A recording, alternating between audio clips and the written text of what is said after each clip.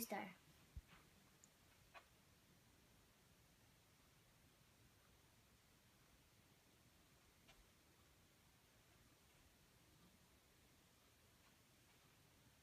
Start. Hi, my name is Anjali Bodinki. I'm in first grade. Today, my science project is about static electricity. My questions are, why does my hair stand up and attract towards the balloon that is started by rubbing it on my head? Two, why does the empty soda can roll towards the balloon that was charged by rubbing it on a sweater? My, my hypothesis is, I think that the I think that the empty soda can and my hair and the and the hair will move towards the balloon that was charged by rubbing it on my hair or sweater. So these are the materials that I'm gonna have for these for this project.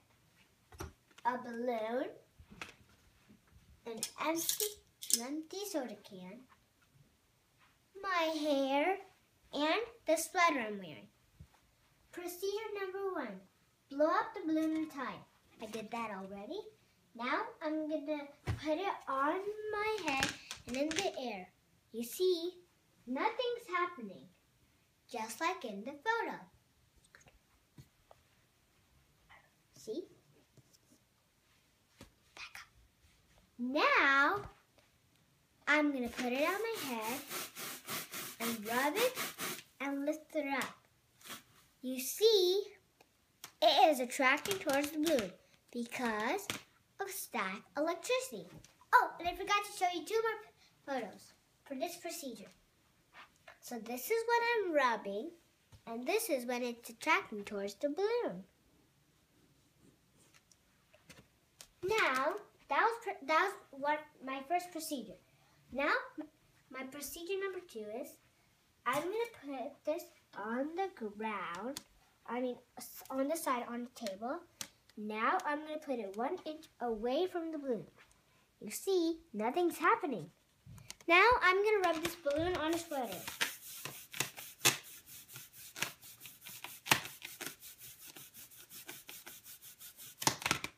Now I'm going to put it close to this balloon. You see, it's rolling. A, and and this is something else you can do. You can stand it up Oh, and now I'm gonna, and you can see it's rolling because of static electricity. These are the pictures. So in this picture, nothing's happening. In this picture, the can is rolling towards the balloon. My results are when you rub a balloon on your hair or sweater, it ends up loaded with electrons, which are also called as negatives. Those electrons can attract to, to protons, which are also called positives, in a soda can or in my hair.